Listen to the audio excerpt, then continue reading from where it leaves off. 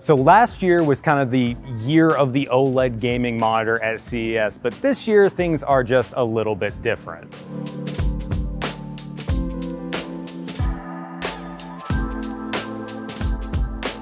Hi, I'm Jacob Roach. Welcome back to Digital Trends. Today we're going to be looking at the best monitors that I saw here at CES 2025. We kind of have everything here from cutting edge gaming monitors to new smart monitors, OLED, non-OLED. But before getting into the main list, I need to highlight something that we already talked about on the channel, and that is ASUS's PG27 UCDM. We have a hands-on kind of first look video up on the channel you can check out right now. It has all the details about the monitor, but basically this is a 27 inch 4K OLED monitor with a 240 hertz refresh rate. That's already a pretty big deal. I know a lot of people have been asking for a 27 inch 4K OLED, and now we finally have one. But the panel itself is actually a little more interesting than that. It's a fourth gen QD OLED panel, and based on some of my early impressions of the display, it has really exceptional brightness and color accuracy. We haven't done a full review yet. Uh, Asus is still working on some firmware adjustments, but hopefully we'll have that for you soon. All right, onward to what we've actually seen here at the show. And we're gonna start off with Samsung. First up is the Odyssey 3D. Last year, we saw a prototype of this monitor from Samsung. They call it the 2D 3D monitor. And the whole pitch was that it could take any 2D content, be it a movie or a game, and automatically convert it to 3D without the need for glasses. This year, it's being turned into an actual product, the Odyssey 3D, and it still has that same draw. It is glasses-free 3D. And looking at the display here at the show, it was actually really impressive. However, it has a little bit of a problem.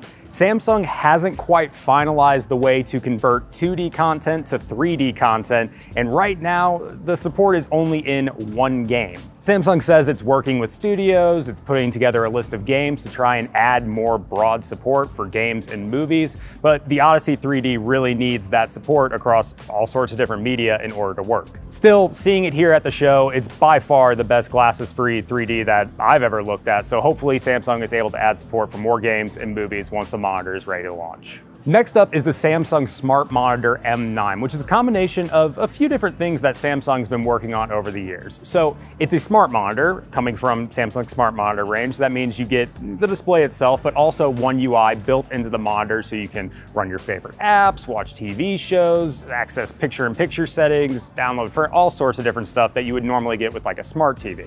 However, this year, Samsung is using a 4K OLED panel at 32 inches, and frankly, the monitor looks incredible. There are a ton of features in it from the you know, smart TV operating system, and I could really see this being something that appeals to a lot of people that maybe don't have a TV or maybe want just one display that can be work, gaming, watching TV, kind of doing everything on one monitor. All right, moving on. You'll have to forgive me because these product names are a little crazy. We have, I'm calling it the ProArt 6K from Asus. It is technically the PA32QCV. That's why I need my phone for this. Anyway, it's a 6K monitor from Asus's ProArt range, which is angled more toward professional users, people that are maybe video editing or doing some sort of color grading work. It's really focused on the best color accuracy and critically the highest pixel density possible.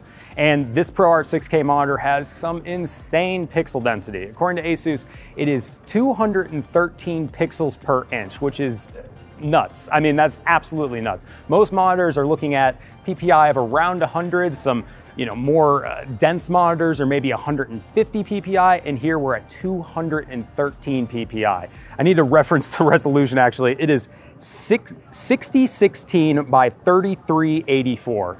That's kind of insane.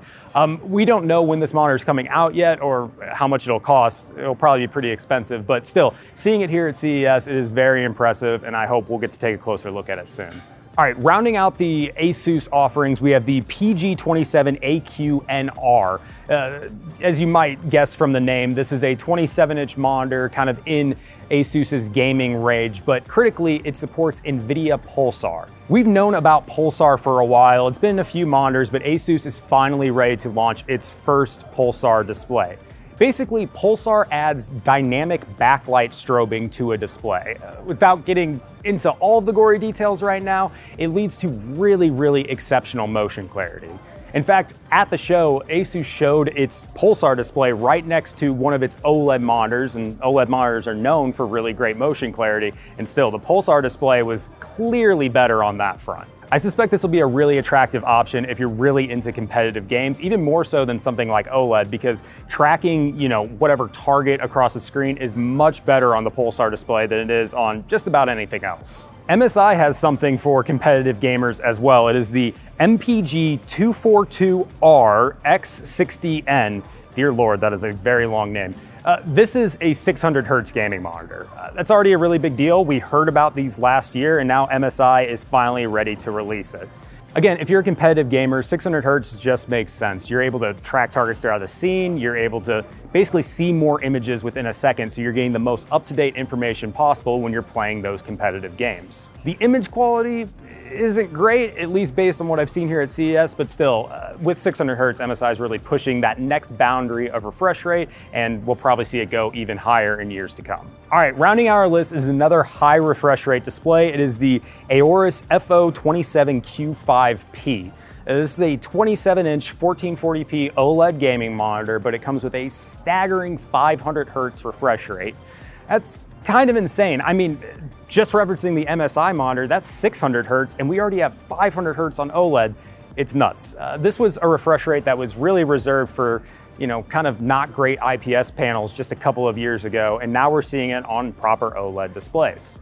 Not only is it a super fast refresh rate, I mean the screen is refreshing every two milliseconds, but it's also on an OLED screen, so you're getting the really fast pixel response times. OLED as a technology is really set up to take advantage of this high of a refresh rate, and after seeing a few of them here at CES, I can tell you the motion clarity is kind of unmatched, maybe only beat by you know some of those Pulsar displays. Believe it or not, that's already seven monitors and there are still even more here at CES. I'll be covering them in videos and in articles in the weeks and months to come, so make sure to stay tuned to Digital Trends for all of that. All right, thank you guys so much for watching. I will see you in the next video.